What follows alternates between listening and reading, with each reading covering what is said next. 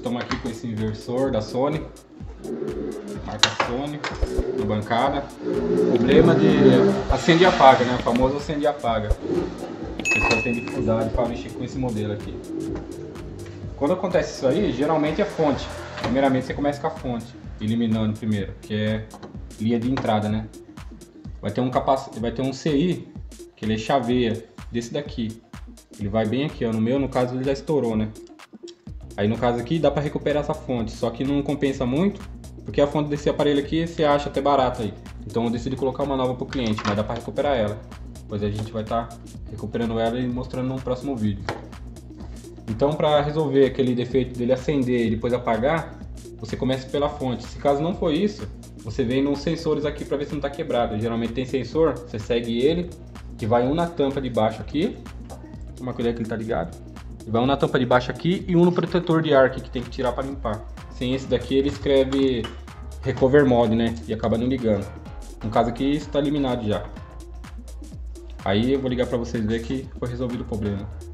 Do acende e apaga. Vou ligar a luz aqui para ficar melhor para vocês verem.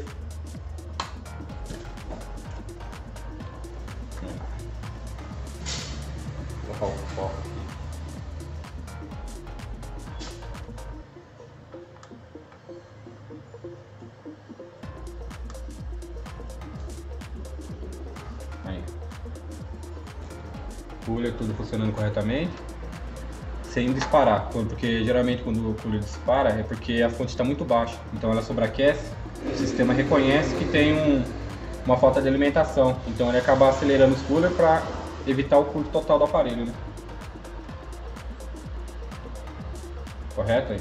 Tudo aceso normalmente. Antes disso aí, também faz teto de lâmpada. Quando você for fazer, você arranca a lâmpada para ver se ele vai continuar armado, não vai entrar em modo proteção. Esse aparelho é bem complexo. Tem que testar desde o do cooler de resfriamento até o sensor até a lâmpada. Fora esse aí é fonte. Isso se a placa estiver dando sinal de vida, né? Não tem que, primeiramente, aí medir a tensão. Trabalha com 12, 15 e 5. Então PS1. Aí ó, funcionando corretamente. Vou ligar a lâmpada aqui agora. E vou desligar o aparelho para vocês verem que tá desligando corretamente. Dois toques, né? Um e dois. Certo? Aqui no caso aqui ele vai agora terminar de esfriar. Depois ele já desarma por completo. Vou esperar aguardar para vocês verem que está funcionando corretamente. Está fazendo resfriamento da lâmpada no caso. Mas pode ver que o aparelho está com funcionamento normalmente agora. Tudo causa de uma fonte dessa. Falar para você que não foi tão fácil esse aparelho, mas não é impossível. Um pouco de paciência e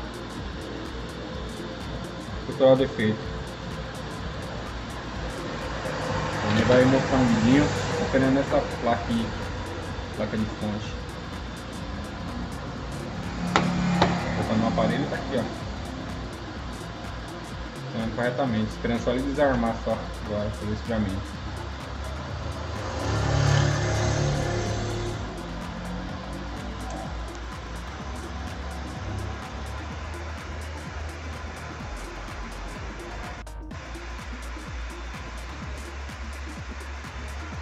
Guardando. Aí ó, aparelho desarmado com sucesso. Se eu quiser agora ligar ele de volta, liga normalmente, sem dor de cabeça, ó. Observa.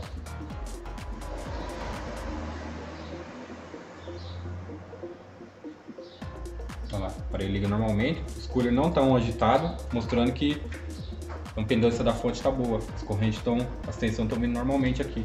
Tanto que eu vou fazer uma medição para você aqui, enquanto o aparelho está funcionando, para você ver que agora não tem oscilação de tensão. Coloca na escala de 200 aqui, porque aqui trabalha com uma tensão a mais. Ó, linha de 15 tem que ter 15, certo? Ó, o multímetro ali. Olha lá no multímetro. Tem 15. A linha de 12 tem que ter 12 volts. Eu vou pôr aqui para vocês verem. Olha lá. Linha de 12 com 12 volts. Linha de 5. Tem que estar tá dando também lá. 4,8. Tolerável. certo? Então aparelho funcionamento normal agora.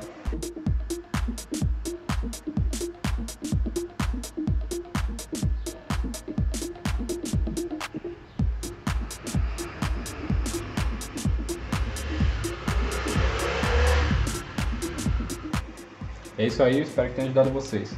Obrigadão.